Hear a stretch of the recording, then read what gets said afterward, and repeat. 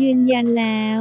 หมอสองถูกลักพาตัวโดนจับขังระหว่างท่องเที่ยวแถบแอฟริกาจากกรณีที่มีข่าวออกมาหนาหูว่าหมอสองนพรัตน์รัตนวราหอหมอศัลกรรมชื่อดังได้หายตัวไปจากโซเชียลระหว่างเดินทางทริปหมอสองท่องโลก ซึ่งเริ่มเดินทางตั้งแต่วันที่ 12 กย โดยเจ้าตัวได้โพสต์อัปเดตแชร์เรื่องราวการเดินทางของตนเองอยู่เป็นระยะ จนมีเมื่อวันที่ 28 กันยายน ที่ผ่านมามีคนเข้าไปคอมเมนต์ถามหาหมอสองหายไปไหนไม่มาอัพคลิปอัปเดตเลย ทั้งที่หมอสองได้โพสต์ไว้ก่อนหน้านี้จะใช้เวลาในการเดินทางทั้งหมด 3 สัปดาห์ 9 ประเทศวันที่ 12 กันยายน ถึงวันที่ 3 ตุลาคม 65 คืออัฟกานิสถาน ปากีสถาน ชาติ ไนเจอร์ เบอร์กินาฟาโซ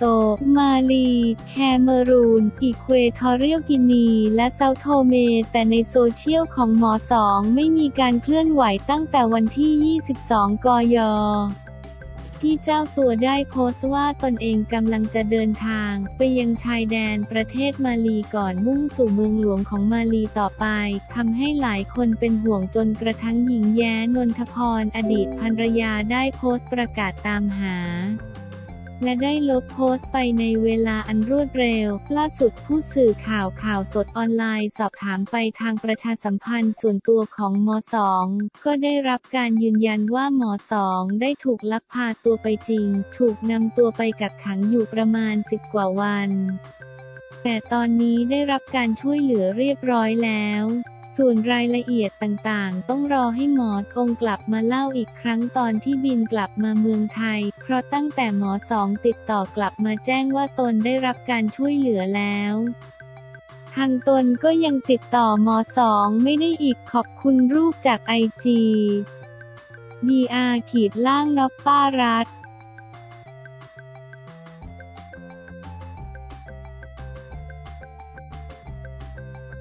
นักร้องหนุ่มโป๊ตปราโมทเคลื่อนไหวแล้วเผยสีหน้าตอนอ่านข่าวเช้านี้นักร้องหนุ่มโป๊ตปราโมทเคลื่อนไหวแล้วเผยสีหน้าตอนอ่านข่าวเช้านี้ หลังลุงบุกทำร้ายศรีสุวรรณขณะไปร้องเอาผิดเดี่ยว 13 จากกรณีนายศรีสุวรรณจันยาเลขาธิการสมาคมองค์การพิทักษ์รัฐธรรมนูญไทย เดินทางมายื่นหนังสือร้องเรียนเอาผิดโน้ต อุดมแต้พาณิชย์ในการแสดง เดี่ยว 13 ที่ศูนย์รับแจ้งความกองบัญชาการตำรวจสอบสวนกลางก่อนถูกนายวีรวิทย์รุ่งเรืองสิริผลเข้าไปทำร้ายนายศรีสุวรรณทั้งชกและเตะกลางวงสื่อมวลชน จากนั้นนายศรีสุวรรณ เดินทางเข้าแจ้งความนายวีรวิทย์ในข้อหาทำร้ายร่างกายกับร้อยตำรวจเอกนิพนธ์สกุลเพชรรำรองสัว สอบสวน สอนอพหลโยธินหลังถูกทำร้ายเบื้องต้นตำรวจจะสอบปากคำนายศรีสุวรรณ พร้อมกับทางพนักงานสอบสวนจะทำหนังสือส่งตัวนายศรีสุวรรณไปตรวจร่างกายที่โรงพยาบาลก่อนจะเรียกคู่กรณีมารับทราบข้อกล่าวหาเพื่อดำเนินคดีตามกฎหมายต่อไป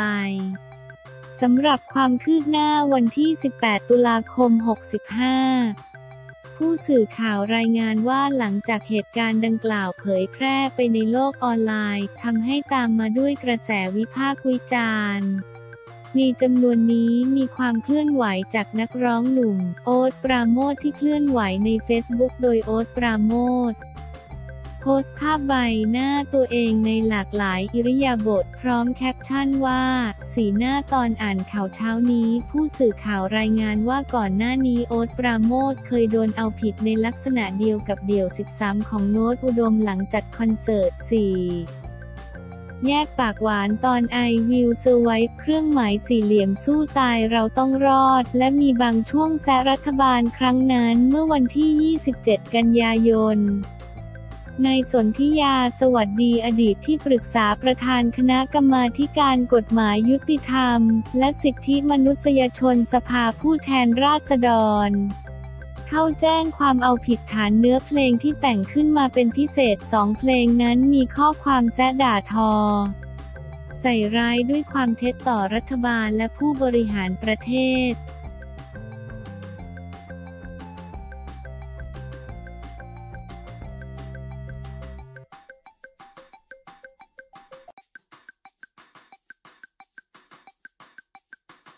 เอมี่กลิ่นประทุม ตอบชัดน้องตำบลที่ทำเกือบล้มงานแต่งคือใครใช่ที่ทุกคนเดาหรือไม่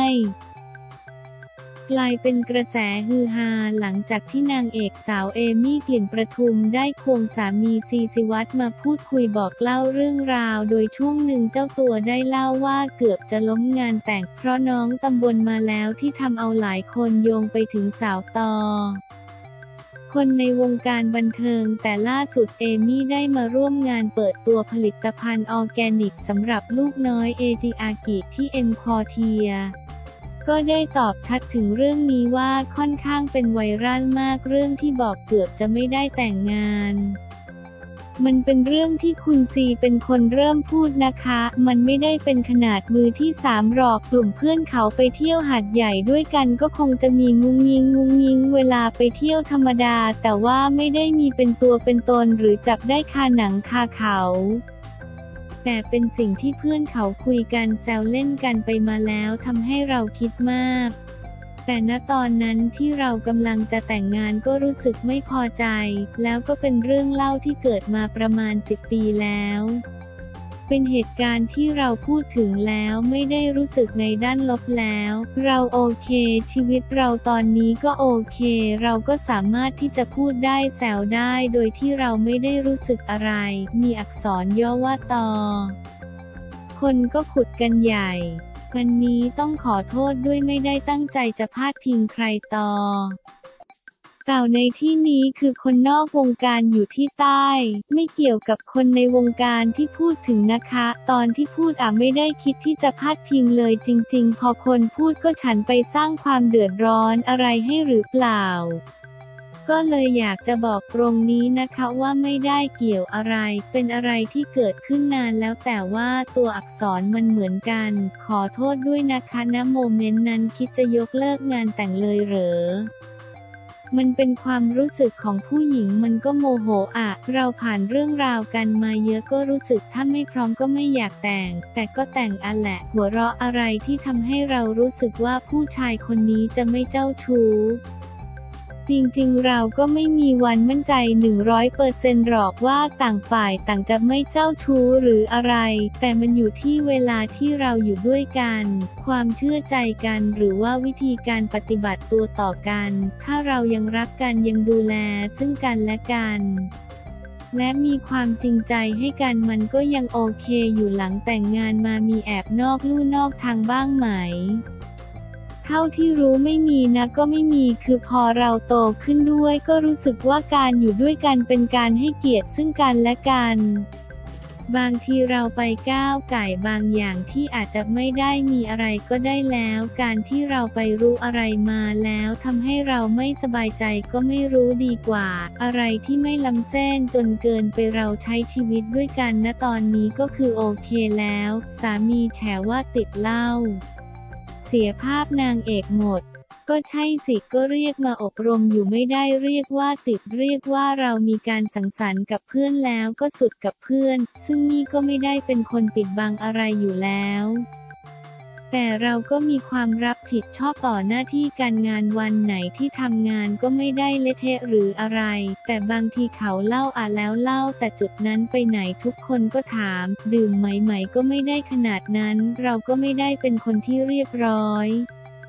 เราก็เป็นแบบนี้ตั้งแต่ไหนแต่ไร พอเราทำรายการของตัวเองก็ค่อนข้างจะเรียวมากคนก็จะเห็นภาพว่าเราจริงๆ เป็นยังไง บอกสามีบ้างไหมว่างดแฉบ้างก็ได้